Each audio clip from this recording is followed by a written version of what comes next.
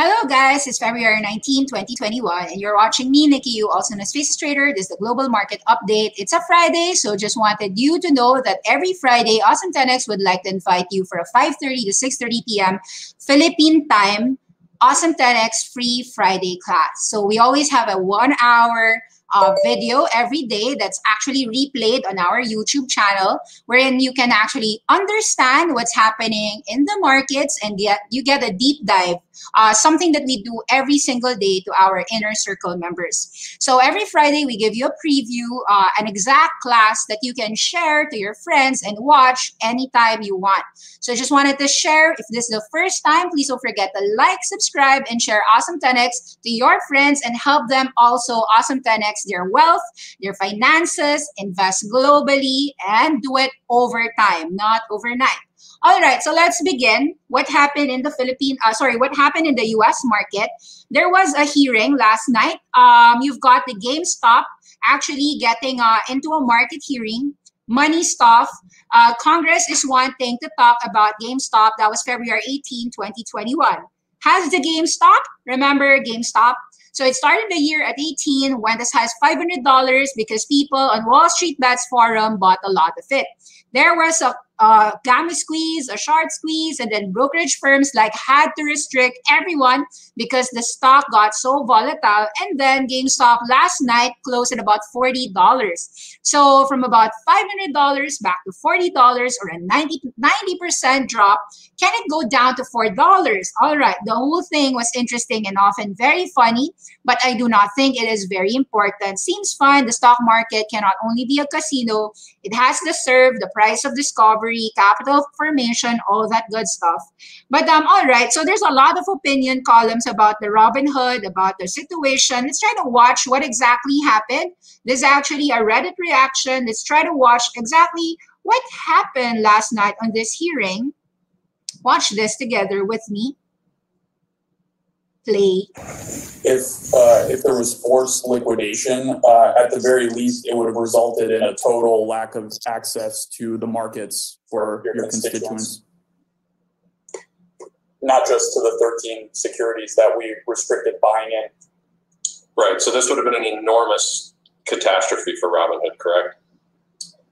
And the That's correct. And and not just Robinhood, but the over 13 million customers that we serve.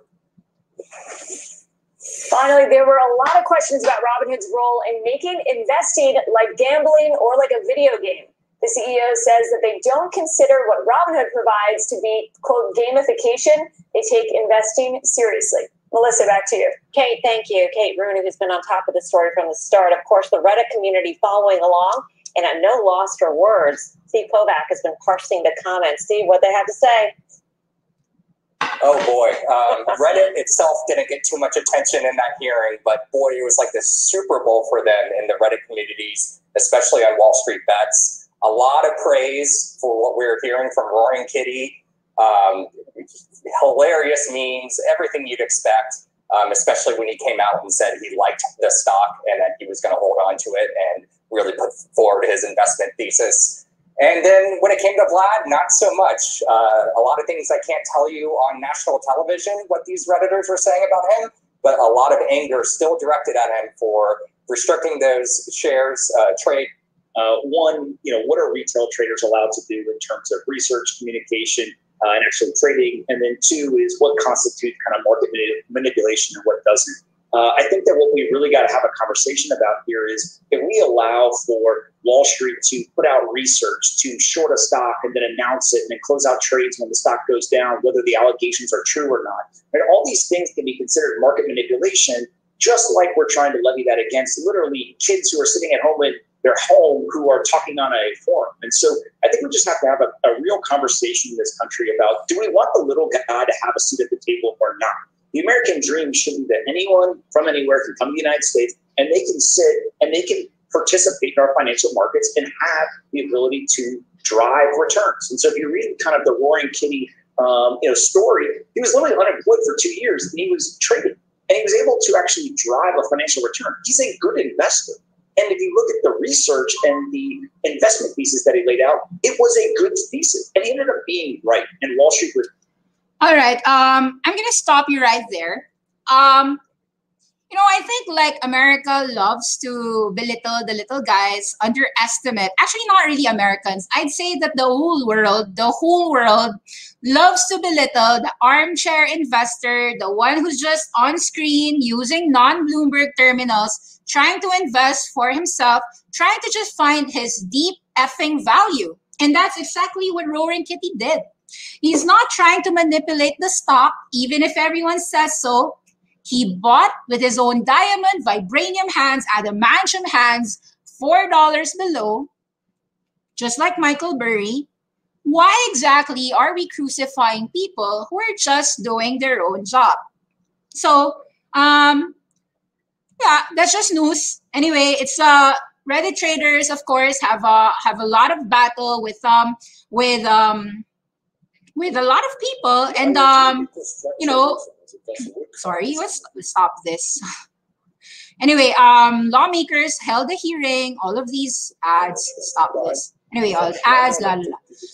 Anyway, um, the point is that I think that everybody has to understand that Roaring Kitty explaining his GME investment theory out in the public, Congress questioning Robinhood, hedge funds saying that they've got to vindicate themselves it's not gonna end. Like at the end of the day, everybody has to know do not underestimate the Wall Street bets. Do not underestimate people who are on YouTube trying their very best to find awesome 10x companies for themselves, for you, for the entire world. It's a do-it-yourself kind of journey. So anyway, let's go. Um, let's go ahead and take a look at the markets. People are saying, "Well, why are the markets down last night?" Well, you know me. I think I told you that there has been quite a lot of times that we've been already seeing the market topish on certain sectors. So, example, I'm telling you something. Solar, weed, topish, awesome, 10x, pigs get slaughtered. I said this when I said that awesome 10x said that pigs get slaughtered January. Pigs deserve to get slaughtered. January 18, 2021, profit taking on solars and some weed. Let's take a look at the charts of our solars. Let's take a look at that. Um, I have a list. I'm going to show it to you. Solar, uh, electric, all of those solar renewable energy names. Okay, Sun Power down 16%. F-Cell down 16%. Arcimoto down 13%. ReneSola, Plug Power, Sunrun, Canadian Solar. Well, Nano Dimension is not a solar company. I just put it there, but this is additive manufacturing. Solo ElectraMeccanica vehicles, Jinko Solar, Solar Edge, XPeng, NIO, la la la la la la la. All right, that's a day drop performance for the week. They're dropping hard, 30% for the month. They're dropping hard.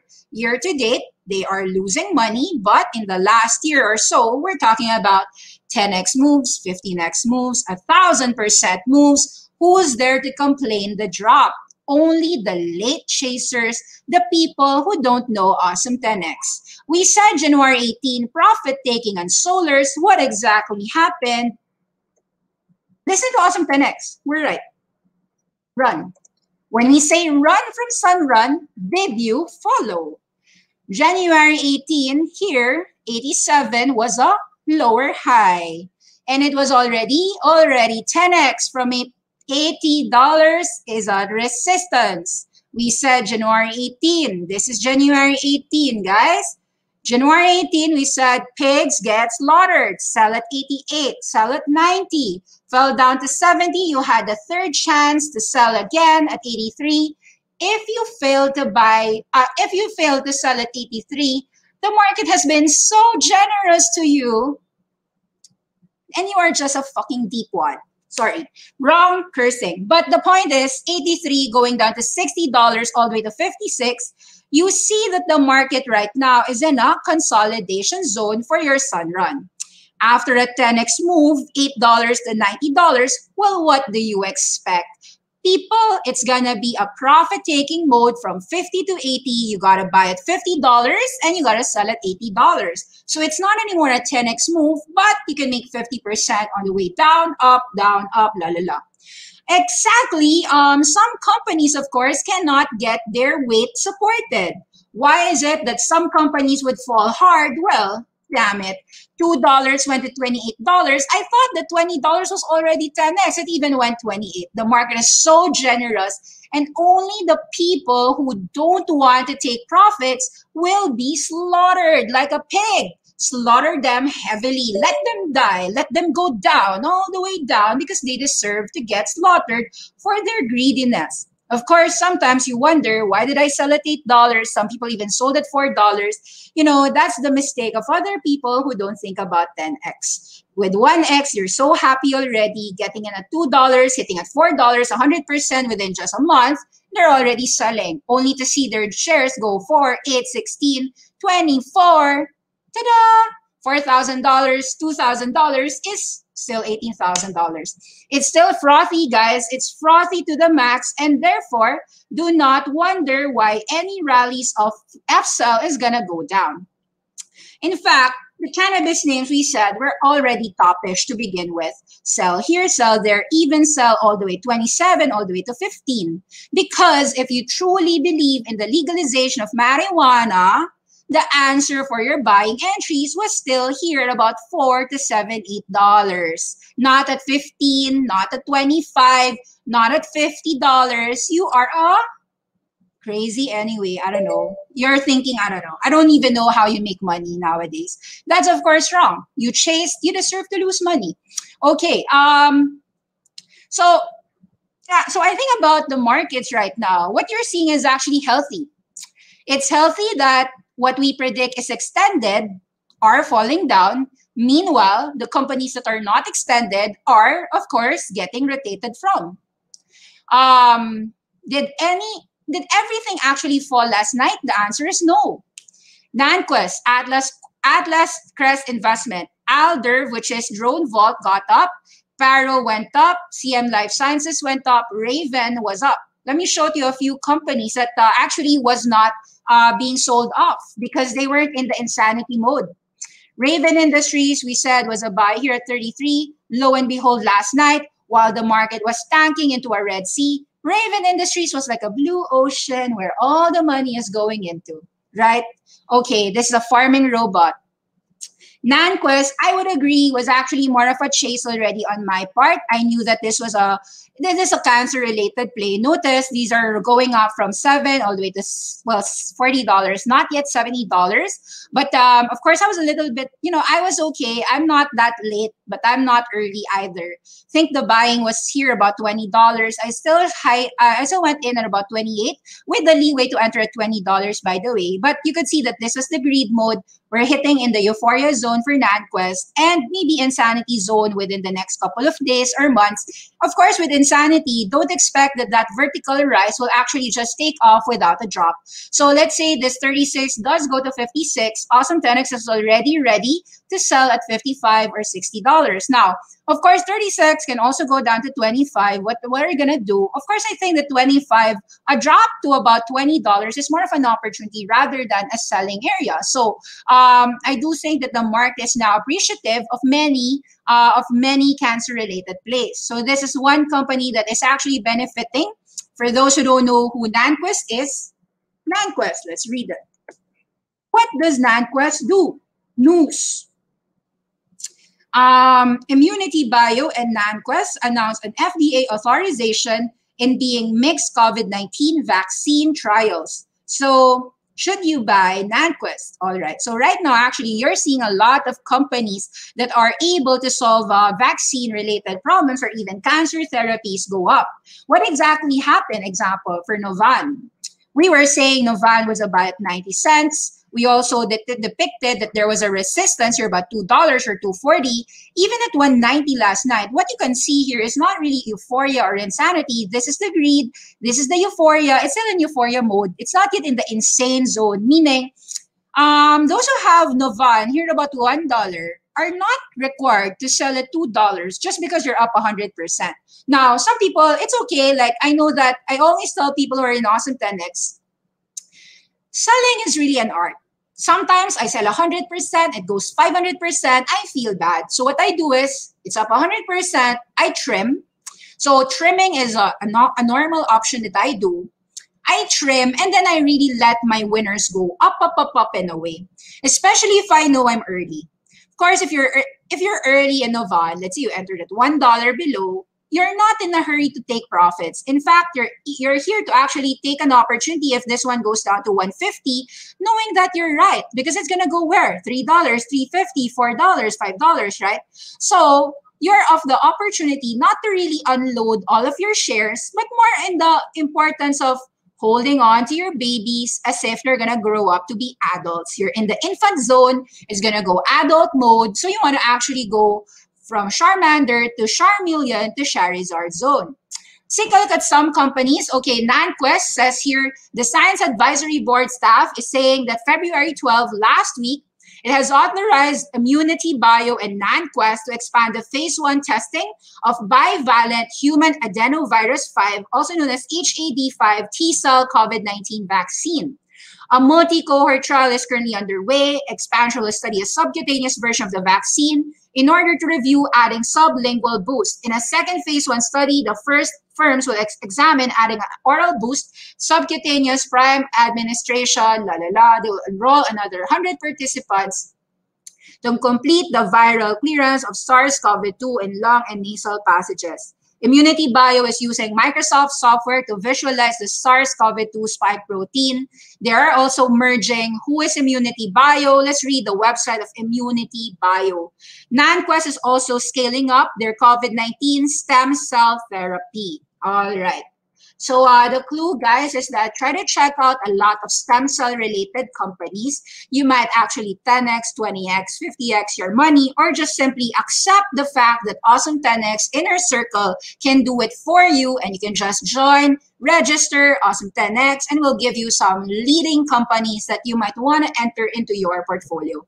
Immunotherapy, it says here, immunotherapy platforms, they've got activated NantKwest, NK and T cells, activated M1 macrophages, memory T cells. We establish Immunity Bio to advance the next generation of immunotherapies to address serious unmet needs within oncology and infectious diseases. The basis is T cell based immunotherapies, such as in checkpoint inhibitors, chimeric antigen receptor T cells, or CAR T cells. Fundamentally, we promote adaptive immune responses, activating the cytokinase, which is a natural killer, or NK cells, T cells, tumoricidal macrophages, seeking to establish immunological memory to support long term protection against disease. You know, actually, I tried to study immunotherapy not because I wanted to, but my brother actually had cancer. I have relatives who had cancer. I was not looking on cancer to actually invest on cancer early on. Um, it was a personal decision to just understand these cancer plays because if it can save my my my relative's life, of course, we're gonna have to read and study what exactly is available in the market public uh, and what it's not really about investing in it. it's really about saving a life so um, yeah um, i'm happy to say that my brother has been healed not by immunotherapy but i mean i'm happy to say that if you get uh, uh you know i think next time CAR T cells, spear T cells, these are going to be affordable and it's actually going to save people's lives. What's important is that you know that you're investing in medical breakthroughs you can lose money 5%, 20%, 50%. What's the what's the reward though if you get the the life-saving drugs at a cheaper cost eventually because right now the, the world is actually transitioning into using deep learning. We're talking about AI, we talked about this the the, the genomics explained. We talk about ARK Invest, believing in biogenomics. We also believe in the same thing and we actually share in a free Friday class. Now, of course, after free Friday classes, we do try to deep dive more companies in a deeper mode. There is what you call base editing, there is what you call genetic editing. You can learn about spare T cells, CAR T, learn more and invest in companies that you can actually see a potential 10x reward. Now, of course, you don't want to invest so solely on just one company. So you want to actually diversify, diversify, diversify. How about, so you've heard me say, okay, Arcimoto is falling down. January 18, what exactly was the price of January 18? Somewhere here at about January 18, we're already saying that about $25 you know, um, all right. Well, uh, well, yeah, you could see that this has been moving up, but actually at thirty dollars, these movements look. We are entering at five. This one went seven x, right? So, um, at some point in time, even the people who got in late at 13 still managed to make 100%. So it was obvious that you want to actually be profit taking, but take note after selling at $32, this is an area point. Right now, Arcimoto here, but $20, even if it goes down to $17, is actually more of an opportunity to go back to its rightful place and be an ascending uptrend where it is really supposed to be, right? So um, what happened here is just really people getting so bullish, and then of course the mean reversion.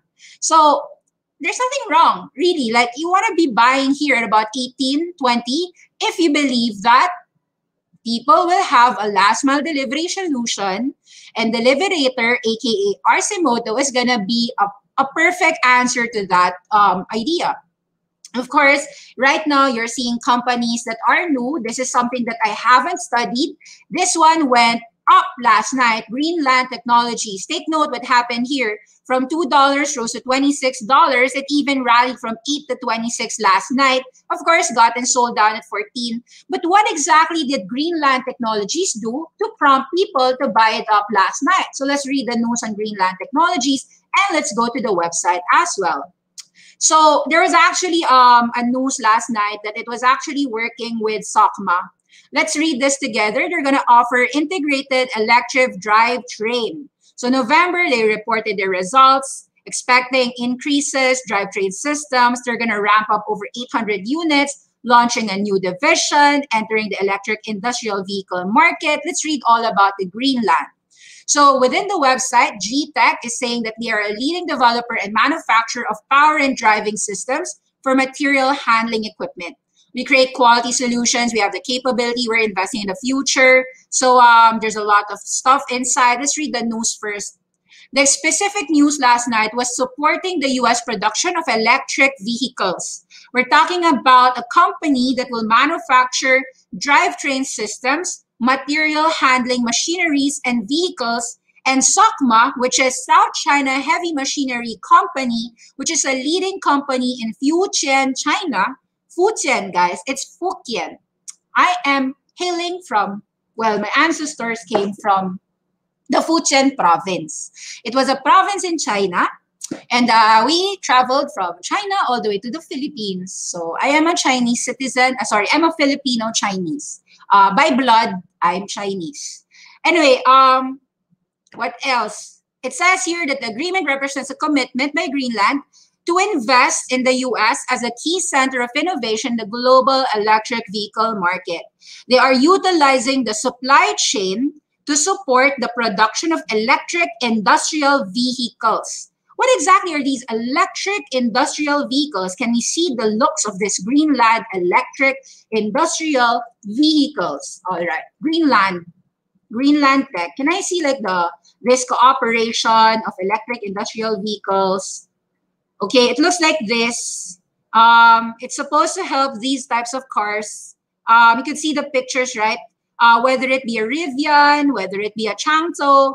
What you have to understand is that if you are making the parts within these cars, are you going to make a lot of money if we go 500 million vehicles someday in the future? I think the answer there is a yes. So the market is just um, consequently just buying a company that can triple their money, that can tenfold their money because it is a company that can do that.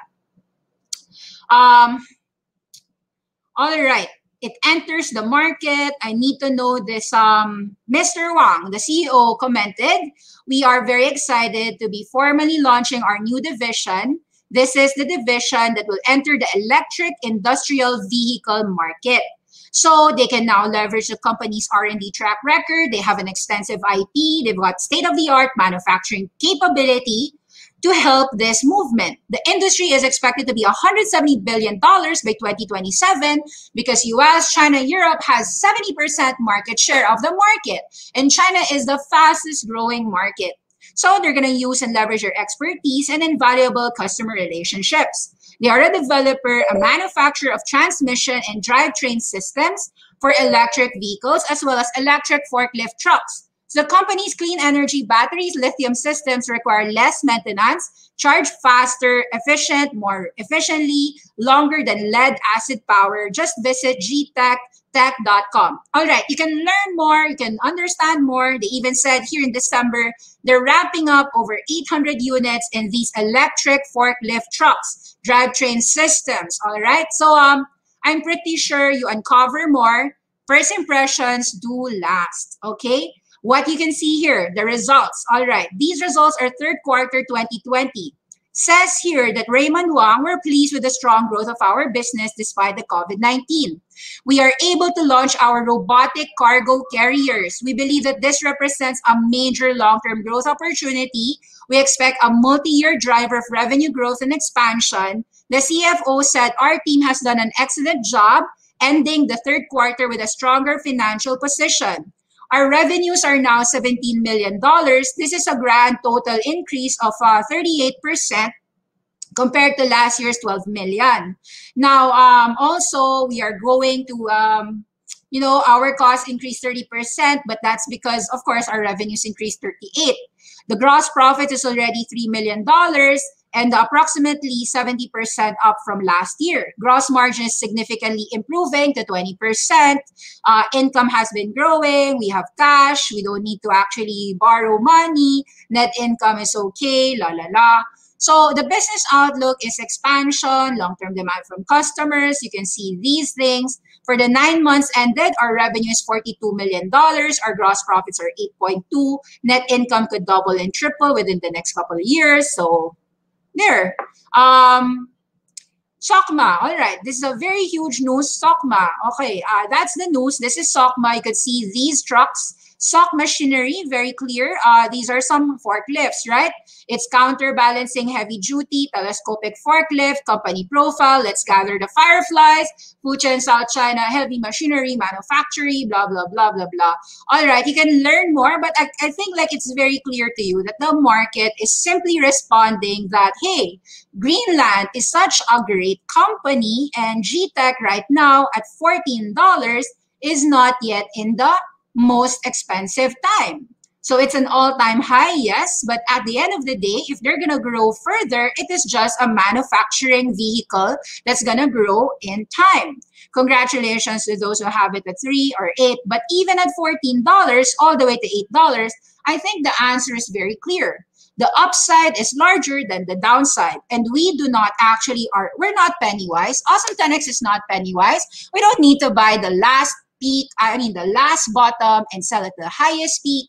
To make money, guys, you just need to identify a secular trend, identify a great company, and end of the day, make some money investing long term in that secular trend. We're talking about secular trend, years and years in the making. Okay, um, there's more companies to actually share. I might actually share some later on. So um, hope that you learned something today. GTech is GTech a buy. Awesome 10x thinks so. Uh, there's more companies to learn about. Hope that you have a great evening.